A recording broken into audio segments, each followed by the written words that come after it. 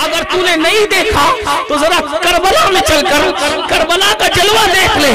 ऐसा लगता है कि जैसे हुसैन आज भी अपने बाजुओं को ताव देकर बाकी के खिलाफ खड़े हैं। अल्लाह के इज़्ज़त की कसम, लोगों को करबला बयान करने से तकलीफ़ इसलिए है कि लोग जानते हैं, जब